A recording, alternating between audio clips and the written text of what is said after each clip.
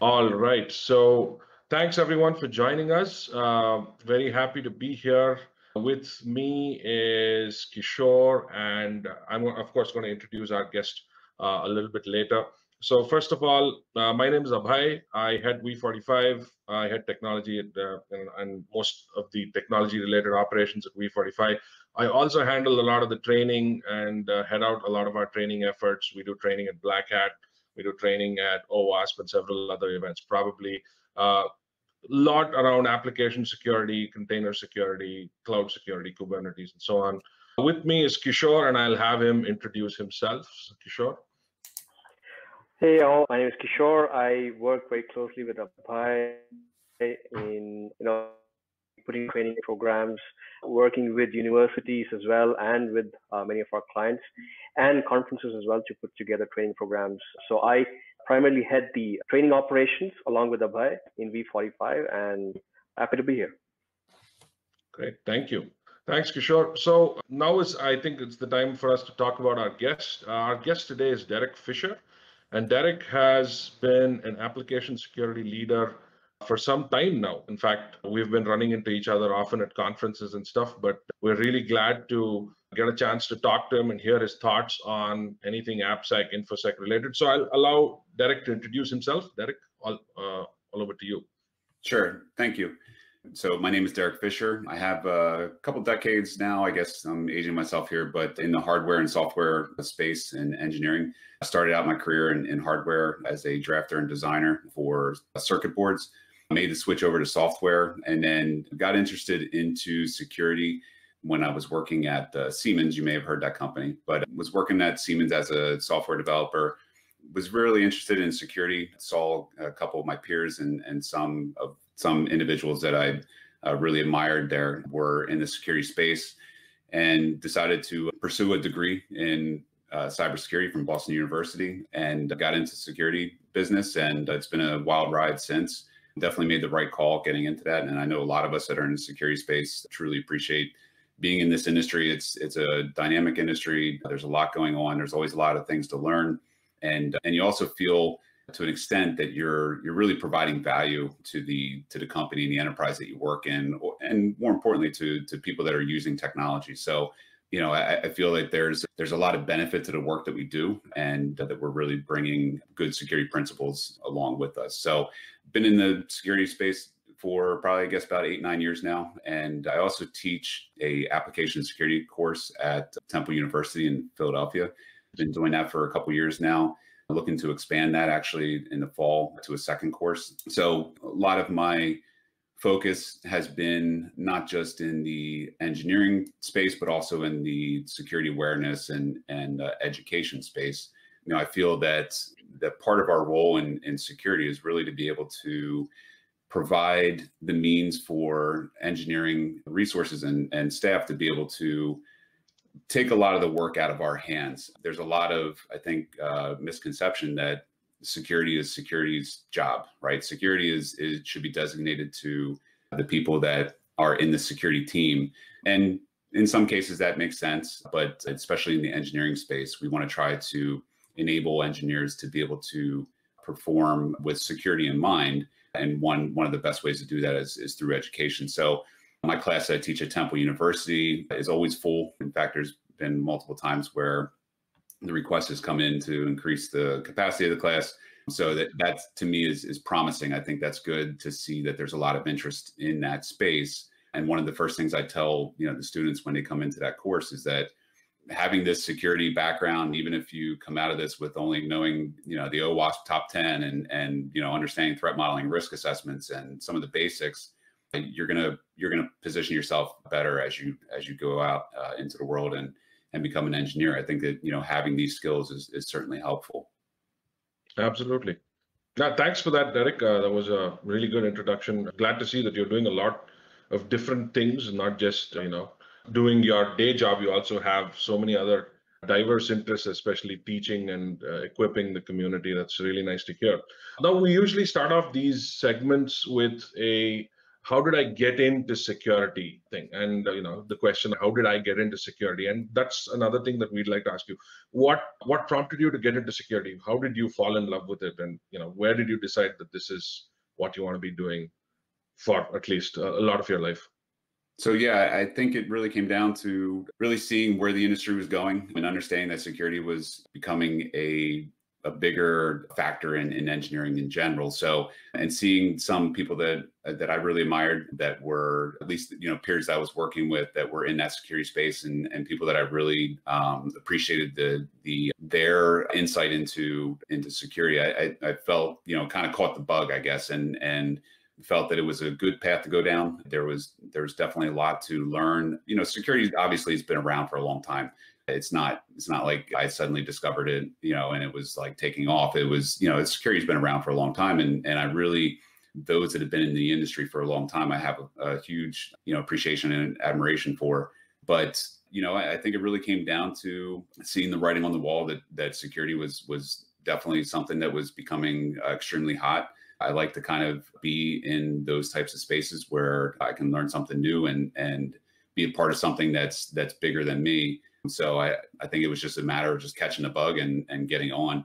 And like I said earlier, I, I think being being able to kind of provide that security awareness to to others. Like I, I feel like maybe in the past security was seen as as dark magic and it was seen as something that you know that was relegated to people that you know had secret languages and, and things like that I, really view it, and, and this is why I got into the education space as well, is that I really view it as something that we should we should kind of demystify security and make sure that everyone has that appreciation for it. Because again, as you see with devices and everyone carrying, you know, a, a smartphone or, or having a tablet, and everybody's using technology, it's everyone's responsibility to be more secure. So I, I, feel that that I enjoy that part of it, demystifying security and making it easy for for regular people. And in fact, I did actually write a children's book recently and published it related to security for for children because I think you know as you see technology kind of expanding you find that that more and more people are using it and we want to make sure that those people are using it securely because that that makes our jobs easier from from a uh, defender perspective Right. Absolutely. That's great to know that, you know, you've written a book for children because children tend to be an especially vulnerable group, especially at, you know, when COVID-19 is happening and we have so many different phishing scams all over the place. And of course, children are all at home. They're on their iPads and mobile devices all the time. This this is a perfect opportunity for people to target them and you know leverage them in whatever you know nefarious things that they want to do. So I really appreciate the fact that you are taking a lot of your time to uh, do these things. That's really cool. So one of the things that struck me in your when you know we were looking at your profile for this show was the amount of work that uh, you seem to have put in in the secure software development side of things and i'll kind of continue that question a little bit you correct me if i'm wrong started off as a developer and now you've of course moved into security. So what what is your take on uh, secure software development? How have you seen this evolve over time? Because obviously you've seen this evolve. Different companies uh, doing different things. You were in Siemens. You are now in a in a completely different organization that's doing something completely different. How do you see this has evolved, and where do you see this going in terms of your uh, crystal ball gazing, so to speak? Right? Where do you see this going? Yeah, so you know, it, it's funny. I've worked in the healthcare space, the financial industry. Back in my hardware days, I worked in military uh, contractors. So I've seen seen a lot of different ways that systems and software get developed.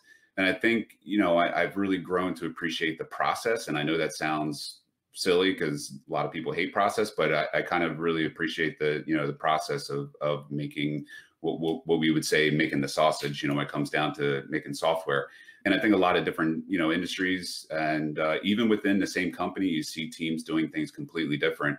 And I think that's been you know some of the challenges, not just from a security point of view, but from an enterprise development perspective, is that teams that are sitting even on the same floor with each other in an enterprise are, are developing their software completely different. And it could be a, because they're the language that they're developing is different, their tech stack is different, but it's it's always, you know, there's there's always some difference in there. So so one of the biggest challenges that I see kind of going forward, you know, especially with security, is that how do we how do we bake in security into that development lifecycle? And right you know, you're seeing even things like when I first got into security, you know, eight nine years ago, static analysis was was taken off. That was the that was the hot thing, right? You know, that you had to get whether it was uh, HP Fortify or IBM AppScan or or what are the you know the other types of uh, static analysis tools that were out sure. there. You know, it was, about, it was about plugging them into the development lifecycle. Well, now, like I don't there's not many people using Fortify. You know, a lot of it is because that the way that we develop software has changed in just such a short period of time to the fact that we don't the tools that worked, you know, seven, eight years ago don't necessarily work in the same, you know, development lifecycle. And a lot of that is comes down to the way, you know, the introduction of DevOps. I think that's made some some significant challenges in terms of plugging in security tools into the development lifecycle. So as I kind of see things going forward, and, and I know this term gets overused a lot, but with the with not being able to rely on tools as much, I think we really do need to look at you know shifting left. So how do we build requirements in early on? How do we identify threats and, and uh, risks early on so that we can develop that into the development lifecycle and have less reliance, you know, on the tools in the back end? There's always going to be you know the need for for those tools down throughout the development lifecycle but as you you know build the that capability and and understanding of security issues early on you have less reliance on things like static analysis. Right. Absolutely. Uh, yeah. Right. so yeah. So derek you talked about how things have changed i mean how tools were used in the past and how you know how they are being used today in the sense they still have a role to play, but you know they're maybe not as important as they were before, or you know they serve a specific function. Now, coming from that transition of how security has changed, and today, as you're focusing more on secure software, how has your work in threat modeling figured in the sense that you know me and Abhay, we've, we've, we've seen that you know threat modeling in many places still continues to be an approach which is you know, Abhay likes to use this term a lot. You know, it's like boil the ocean kind of thing. Everything has to be threat model at one single point in time, and you create a large threat model, which is very difficult to understand in the current DevOps development process. So, how have you seen that change over the years? Because threat modeling used to be a very, very once once done is done, and then you know essentially people forget about it. But today, with you know secure software, how how does that you know play a role in you know what you've been doing in the last few years? Yeah, so the answer may surprise you, but I've actually not seen many organizations do threat modeling well. And I, I think there's a couple of reasons for that. One is that, to your point, uh, threat models become large, unwieldy, very difficult to main, you know, manage and maintain, and it's a once and done thing. Maybe you, you know, have this little checkbox where you say we're going to review it, you know, every year. Yeah. So it, it does kind of become a bit of a you know a checkbox exercise with threat modeling. And then you see some organizations that that just don't have a formal process around how they how they perform threat models. Not that they're not doing it. They mm-hmm. understand their risks. They understand their threats. They they are doing it more at a i'll say like an ad hoc type of method where it's like okay we know that this is our risk. We're concerned about you know credentials being stolen by our, our our admin. So how do we lock that down? You know how do we get uh, privilege access management controls around that? So you know you, you don't see that more formal threat modeling process as as often as i think you know we would like to see.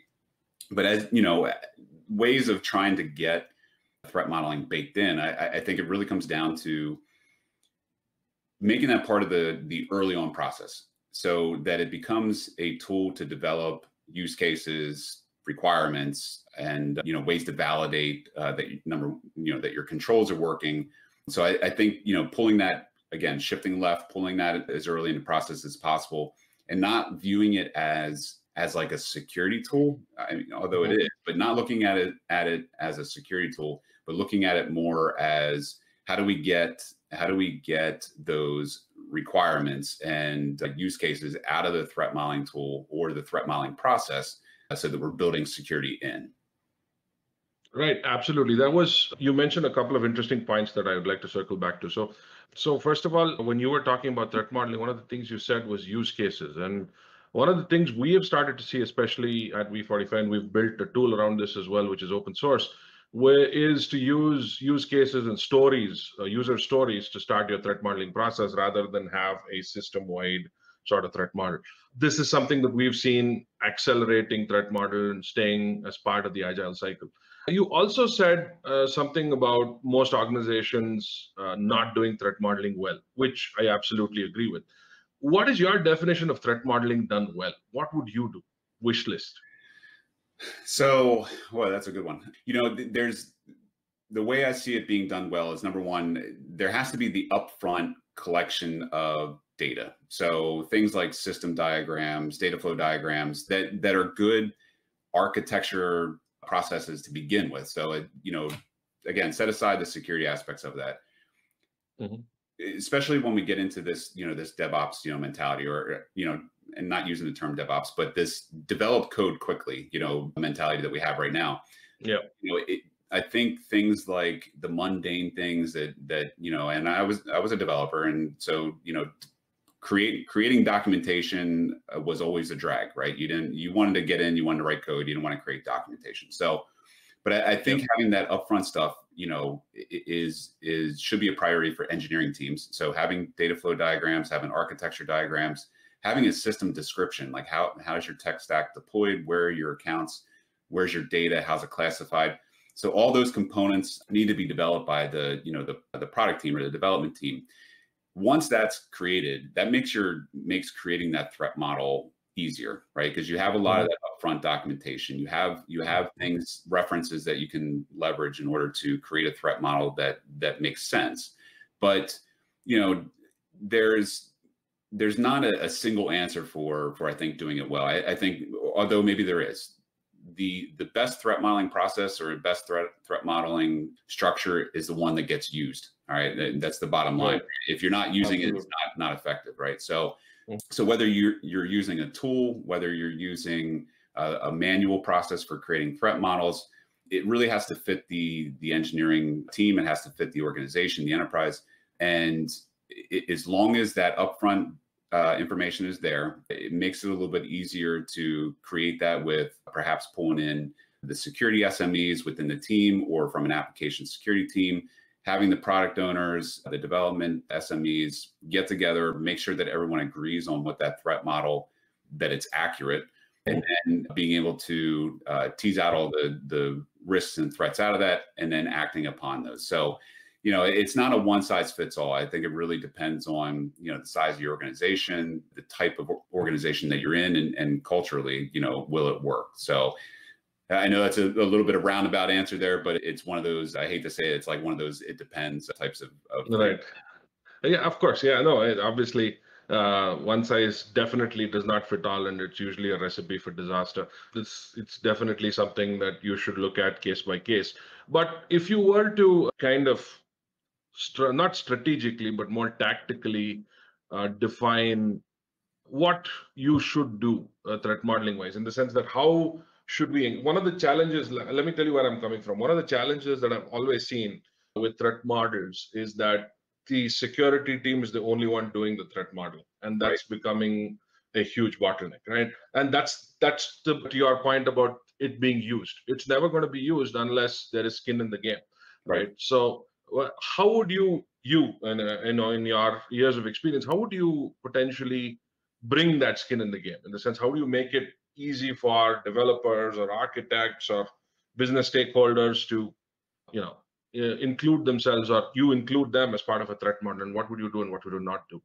Yeah so I, you know it really comes down to the engineering team or the the product team owning that threat model making it part of their you know their standard process for you know and the security team needs to be involved with that. And maybe it's the application security team or maybe depending on the the risk of that application you know to the risk risk in the sense of risk to the organization. Like if it's a, a high risk product or application that's being developed then you mm-hmm. probably want to bring in the full weight of the the security you know the application security team to to at least assist with that with that threat model but I, there really needs to be a co-ownership in terms of it, the the engineering team needs to own that product you know the threat model itself and whether it's whether you do it in a tool and you you know they they need to own that you know that output or at least own you know the diagram of it. But but there needs to you know the security team also needs to be able to know that they need to be engaged and maybe that's a periodic thing so they know that every 6 months or every 3 months or whatever that is or every major release that the application security team comes in and says hey you know we know you got your tooling all set up, but we we know where your vulnerabilities are because we've been engaged all this time. By the way, right.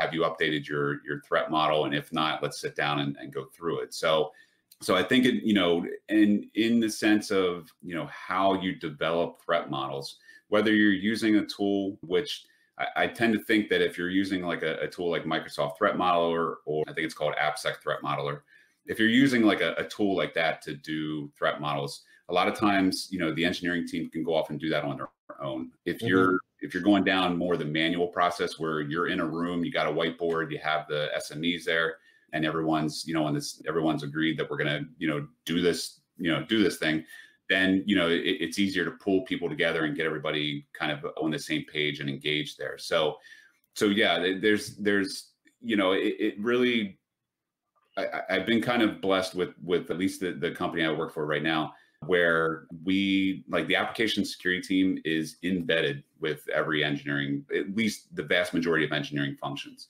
That's right. that model. It does not does not always scale, and that model always work everywhere.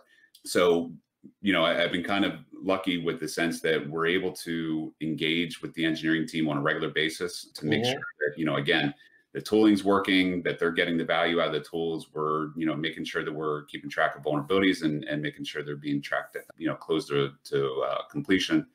And so building a threat modeling process into that is a little bit easier because we're already engaged with the engineering teams. Right, right, absolutely. Cool. So coming back to security awareness, now one of your big areas of focus has been awareness. The, you know, obviously with your experience in academia as well as your uh, you know personal efforts as well what do you think about now obviously security awareness is different for different uh, groups of people now when you're looking at engineering teams especially engineering teams going at the speed of light so to speak what is your take on security awareness how would you look at security awareness for these engineering devops ops uh, SRE teams. How would uh, you approach that, and what would your uh, take on that be?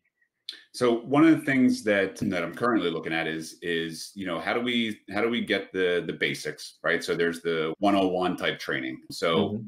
There's you know introduction to OWASP top 10. As I mentioned, you know teaching at Temple University, the class is always full, and you know there's there's always some people still trying to get into class. So getting those base, you know, I, I feel that that's a that's a good indication that people are are wanting to get that you know knowledge but I, I, don't know necessarily that we're i know that when i went through my computer science degree that there wasn't uh, we didn't take a security class you didn't, you didn't learn that until you know later on when you were actually out you know in, the field so I, I, think you know getting that base layer you know i'll call it the base layer of, of application security or secure engineering built in, which is you know around OWASP and around you know secure secure development techniques and all that.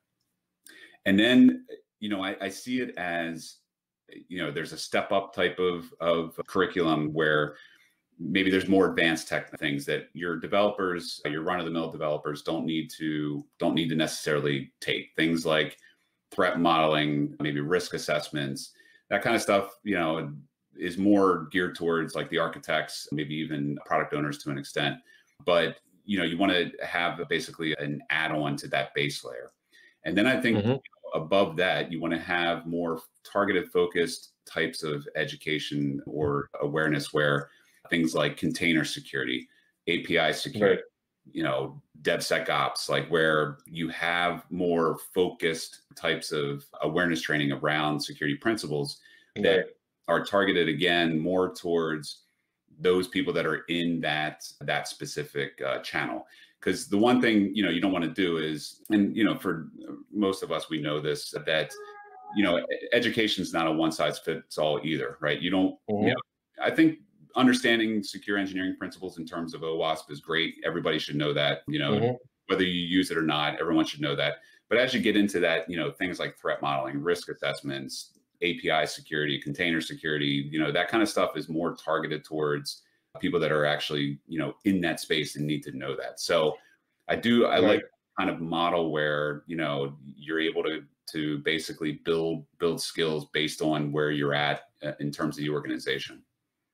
Right. So yeah, I mean, totally. I think that makes a lot of sense because one of the things that we see, uh, so and we do a lot of training on DevSecOps and containers and stuff like that most of these classes, we're seeing that the lines have blurred quite a bit between the people who supposedly need to take them and the people who are actually taking them because right. everyone is now kind of in this, right? So if you're a pen tester and you don't understand Kubernetes or you don't understand cloud or something like that, you are kind of lost. And so right. the the audience that is suddenly expanding, we're seeing that with our classes, whether it be at a conference like Black Hat or even our own live online classes, we're seeing that we're there's a whole lot of different sets of people from management right down to you know folks who are doing this stuff on the ground we're seeing that you know take off quite a bit you know i think that yeah. i think you know as you were talking i was thinking that you know one of the biggest challenges that that we've had in in many of the organizations that that i've seen and, and worked in is that you know finding out who should take those courses right? You know it, it's yeah. you can say the base layer that 101 course you know needs to be assigned to all engineering staff. That you can probably work out. It depends on your organization. You probably know that. But yeah mm-hmm. to your point you know figuring out like you know does you know does john down the hall need to take the the cloud security course when he doesn't, you know, quote unquote work in, you know, in cloud, but maybe because he has other, you know, other tasks or work that, that kind of bleed over into that. And, and I, think, right. I think that's, you know, that's a valid point. Yeah, absolutely. I think I think that's yeah the the the kind of especially with now with the landscape expanding so much and people jumping into technologies a lot of times without understanding what the implications of those technologies are. Like right. I see this a lot with cloud and Kubernetes, especially that people just want that shiny new thing and they they just have it implemented in their project without understanding the massive security downside that they've not really thought about. So that's something you know which scares you as well a lot because these are the things that constantly happen and you know people are not able to cope with that for a lot of times. Right. The other thing that um, you know, was interesting to me that you've spoken quite extensively about ASVS. And ASVS relates largely. So, for those of you listening, OWASP ASVS is a very interesting open source project called the Application Security Verification Standard. Now, the ASVS is currently at V4, and it is, of course, evolving all the time. It's largely a set of very detailed controls on different domains authentication, authorization, cryptography. Now, uh, Derek, of course, has presented on ASVS at least four or five times based on the talks that I've seen, at least some of the references I've seen outside. What is your take on things like ASVS, especially because these kind of templatized, standardized things make sense to some, but completely don't make sense to others. So where where do you stand on uh, this sort of initiative? Yeah, and, and you're you're bringing back. It's been a, it's been a while since I talked about ASVS, although I, I do I do talk about yeah. it in uh, in my class in in uh, Temple. But but yeah, it's bringing back some some horrible memories. But no, not horrible. But uh, so uh, but it, one of the the a lot of the talks I gave around ASVS was really how ASVS can be used in in in an organization. So to your point, it's it's you know it, it, at its simplest parts, it's a check it's a checkbox exercise. I, I, think you know looking at something like the SKF, the Security Knowledge Framework that is done with OWASP. Yeah, there's there's they've built in ASVS into the SKF so that I know there's a lot of acronyms there, but where it's made things a lot easier for development teams to be able to to understand what their coding risks are in the context of the ASVS. So just to step back and, and kind of go talk about the ASVS, ASVS a little more specifically, you know, it, it has multiple domains and each one of those domains has has what they call requirements. So, you know, there's there's an architecture domain, there's encryption domain and, and things like that. And in each one of those domains, there's the, these requirements that say verify. And that's why we always got kind of stuck on the term requirements because anytime a statement starts with the word verify, that's a testing, you know, that's a testing statement, not a requirement. So the so the ASVS is a way to be used by somebody like a penetration tester or a QA, and that's one of the things that we were actually looking at was can we leverage the ASVS to uh, allow quality assurance or you know testers to be able to use this checklist to to do security testing for us so that we're not you know and again it's that whole model of defense in depth. So we're not relying just on the penetration testers and our and our testing tools to work but we can provide this list you know to our qa or testers and say hey can you can you discover you know if these issues uh, exist? And that's a little tricky because obviously your testers are not you know security people but so you know the bottom line was that when we first looked at the asvs the you know as i mentioned the first thing you see is it says verified which means it's not you know it's not a requirement. So we actually took all the asvs statements and turned them into actual requirements and then pushed them on to development teams. And okay. We were looking at ways to make that into a, a more approachable method where we had a web application that you can go in and select the functions or the features that you're implementing within your product. And mm-hmm. on that, it would spit out the requirements that apply to you.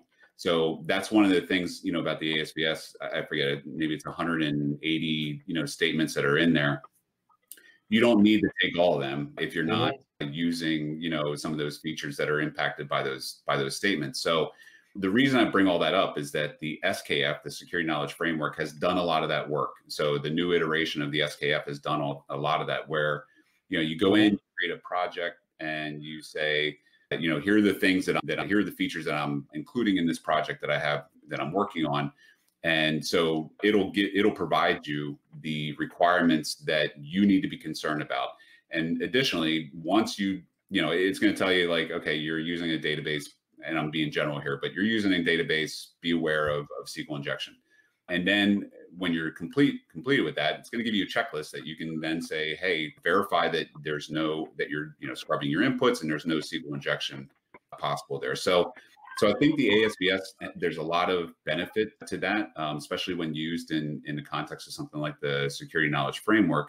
But what I really really liked about it was that you have the ability so we don't want to write you know as the application security team or as a develop you know developer or product owner you don't want to have to go out and write security requirements the nice thing about the yeah. was that they were there you could just take them off for the most part you could take them off the shelf maybe you know modify them a little bit but mm-hmm. you don't have to uh, create that framework of security requirements they're they're mostly already built for you. You know, you can use them and, and push them uh, onto the development teams. And like any good framework, there's some customization that needs needs to happen in order to get it to fit within your own you know organization and, and the way uh, your organization works. But it's a great starting point. All right. Um, yeah, continuing to that question or what you talked about ASVS while you were while you were uh, you know talking about customization and how it can you know apply to different teams and how you can you know adapt the framework to your requirements one of the things that we have been i specifically have been discussing with certain people is that you know and this is and the reason why i'm asking this question because you have in the recent past or even now working in industries which are very heavily regulated right so you're either in finance or healthcare both are heavily regulated now we understand that asvs as an application security standard is very good because it talks about things which can implement. Uh, it's very practically implementable from a development standpoint as compared to other, you know, general compliances and regulations that you know your industries have. But when you're looking at large teams, when you're looking at a large product team put together in a large organization, everyone has a different way of doing things and a different way of implementing their product. So, what has been your experience in implementing this and customizing this? You know, because you know, in, in a very recent conversation, somebody was saying that, you know, I have a lot of different teams. Some people are very mature in security, so they'll be able to take it up very easily. Some people really don't know what they're doing. So therefore, how do I customize the framework or build it in such a way that, you know, I, I have a standard set of rules, but, you know, it is something that everyone can take up and, you know, start, you know, implementing as part of their project. So how have you overcome that challenges, especially in regulated industries uh, such as yours? yeah, and you know there was a lot of effort put into mapping the ASVS to other regulatory you know frameworks and you know like the cybersecurity framework for NIST and for other you know types of regulations and such. But you know it really comes down to because the other challenge that we ran into was that a lot of the requirements weren't new, right? It wasn't. It wasn't, uh, you know, a requirement that said thou, you know, and I'm again speaking generally here, but you know, thou shalt encrypt the sensitive data in the database well, okay, most you know most mature uh, organizations, most mature development teams are already doing that, right? So so there was there was a bit of you know going through and making sure that the requirements that were actually being pushed onto development teams weren't ones that were already being already being completed one of the ways you know and it, it, it's not it's not going to be a great answer but the, you know the way that we found that to work is that there was just analysis that needed to be done when these when these requirements landed onto the requirements tracker for engineering team, there was just some analysis that needed to be done to just say, are you doing this? Yes or no. And if you are, you know, then you can close this this requirement. Yeah. It's already being completed. But we at least had that traceability that said, hey, you know, and we tried, as I mentioned, we tried to filter down what actually was applicable. So we didn't just give the ASVS over to an engineering team and just say, here, go do all these requirements. You know, it, we tried to tailor it down to what's actually applicable to that team. Uh, and then once they got their list, which could be, you know, it's going to be a subset, so it might be a third or, or you know, a quarter of, of what the actual ASVS said, then they're able to then go in there and say, look, we're already doing these handful. Great, fine. Market is, you know, market as complete.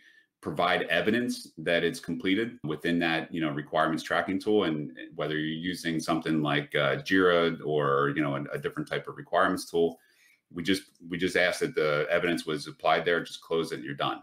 So you know it, it's it's not a, a, great solution but it was but it at least worked for for the use cases that that we had. Right absolutely. No that's that's useful to know that i mean there are asvs a lot of times uh, is touted as a you know a panacea that can fit all but i see that obviously especially with different types of teams it might be a little bit of customization, a little bit of making sure that it is more easily palatable, I suppose, in terms of its consumption. So definitely, that's that's a valid point. Yeah. Um, again, it's like sorry. any other framework. It's you know, it's going to be right because you can't you know if it's targeted if it's too targeted it's not going to work if you know if it's broad then it's on you to to narrow it down right it's like yeah yeah yeah absolutely yeah so, I mean, I think we're almost out of time, but I just thought we'll address one more question and before we close. So, one of the things that especially is happening today, probably you've seen it and experienced it to a certain extent as well, is that we're starting to see this entirely cloud native view of the world, right? Where a lot of these products and even companies are born in the cloud. They're not, they're not even, there is no concept of a you know a data center or you know them hosting their own services. They're already born in amazon or azure or google cloud and they continue on that. They scale out on that. We're seeing a lot of zero trust discussed and in some cases mildly implemented as well. And of course we're seeing a host of new technologies in the identity access management space as well as of course you know at cloud scale at massive scale. Right. so where do you think where do you think application security as we know it is going to go? I mean, how do you think it's going to evolve? And what are your predictions? You know, of course, in 2020, I realized that we're not in, uh, the best shape for making predictions, but at least around something like this, where do you think we're going and where do you think uh, you're likely to see things in the next three to five years from now? So I think one of the biggest challenges that you know that application security uh, has has always had is is number one keeping up with the technology. You know, number two keeping up with the engineering teams and making sure that our tools are effective. So you know, I, I, don't see a lot changing in the sense, you know, of whether a development team is going cloud native or whether, you know, they're on a DevOps pipeline or they're going, you know, old school. But, you know, I, I think it just, it's a matter of, of stepping back from an application security perspective and, and saying what's important to us. You know, for us, it's a matter of making sure that we're not, you know, allowing vulnerabilities to get out in production. That's our, that's our, you know, that's our stated goal from an application security perspective. So, Yes. You know, how do we do that in a way that maybe has less reliance on on specific tools? And it does come down to again, I, I know this is always you know rainbow rainbows and unicorns here, but you know how do we get you know closer to the left and how do we get embedded early on into the process so that we're we're baking in uh, those uh, security requirements up front and we have less reliance on on those tools at the end.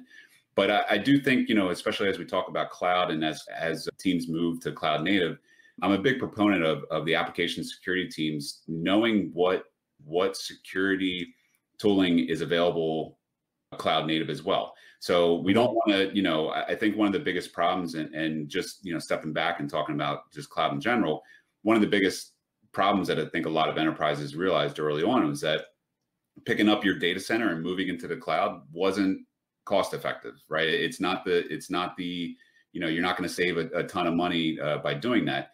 It's really when you're leveraging the tools natively is where you're going to mm-hmm. see the savings, not just from a, a cost perspective, but also from you know from a maintenance and and you know operational perspective as well. So so I think, you know, likewise, the application security team needs to continue to, to look at those cloud native tools that are that are available that will still provide us some coverage from a from a security perspective. But it really comes down to baking it in early on. So things like security awareness, risk assessments, threat models, security requirements. Again, they're not they're not the the fun you know thing. They're not they're not going to get you a booth at a RSA, but they're you know they're the things that uh, honestly make it make our jobs a lot easier. Yeah, the boring things are the ones that actually last. Right? Well, you know, it's funny. I complain about this every time I go to a conference and walk the floor. Uh, I always say, "Hey, where's all the AppSec stuff?" And it's like, it's like, uh, they're in the they're in the back, you know, where the where the coffee uh, is being dumped. You know, it's like, I, you know, I, am sort of you know joking. I mean, there is there are some uh, tools out there that obviously play in the AppSec space, but they're not it's not the the, the firewall tech and you know the we're the less uh, fun uh, part of security so. Yeah. Uh, we are getting there. We have lots of exploits coming our way so we're always keeping ourselves on our toes. But yeah but yeah i mean uh, before we close derek is there something that you would like to say? I, I do realize that your book is that available uh, on amazon or something like that? What's the name yeah, so it's so I am planning on writing a series on it. So this is the first okay. book, but it's it's called Alicia Connected. That's the name okay. of the series, and it can be found on Amazon, both in Kindle version and on paperback. So feel free to, to look it up. You can also find me on LinkedIn, get more information uh, on me and and the book. I'm actually running a, a blog for for the book as well, where I'm releasing kind of that security awareness type of information to to again the general uh, public. So it's it's not security, what we'll call security wonk type stuff. It's more just general security awareness for for parents and, and for children. So yeah, so this is the link for Derek's book. I just found it on Amazon. So if you want to check it out and get your child some security awareness, maybe this is a book to look at. So, and of course, we'll also post Derek's uh, blog information as well on the show notes once we release this episode but yeah, I mean, it's been a great time talking to you, Derek. We really enjoyed ourselves, and I think all our viewers and listeners will find this to be uh, worthwhile of their time. So thank you very much for taking yeah. the time. Appreciate the time, and this was this was great. It's it's always good to kind of talk, you know, application security because again, like I said, we're not the we're not the the fun part of security, but it's you know I think it's obviously I think it's important because that's that's why I'm doing it. So absolutely, thanks so much. Thank you. And uh, yeah, Thank you very much.